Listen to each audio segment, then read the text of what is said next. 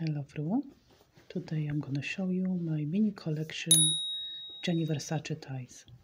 First tie is a classic baroque print tie. Let me show you. Let me zoom it. This is well-known iconic Versace print.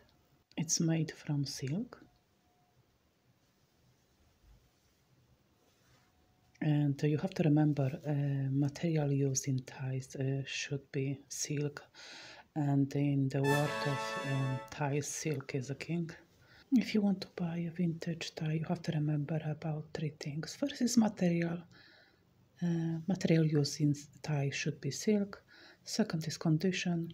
No loose threads stains or ripped tags and third is brand. Uh, just buy what you like this tie is in very good vintage condition. We're gonna move to second tie. It's a blue Medusa face print tie.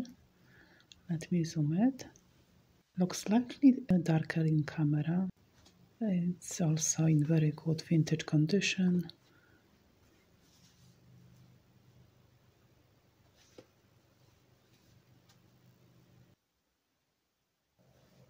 In the 90s, uh, Gianni Versace designed a lot of beautiful uh, silk ties. Maybe I'm going to show you in the future more designs.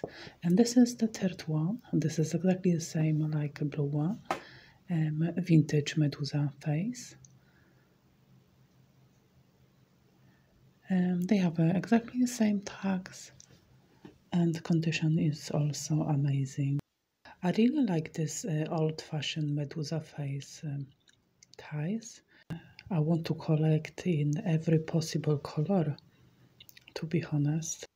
Let me know in the comment section which tie was your favorite. Do you collect any ties? How big is your collection? Thank you for watching.